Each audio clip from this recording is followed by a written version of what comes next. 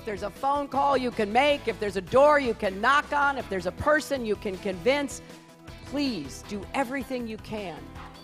Today is another major turning point in the presidential race. Presidential candidates made one final push yesterday to convince voters. There are five states up for grabs in today's race Florida, Idaho, Illinois, Missouri, and North Carolina.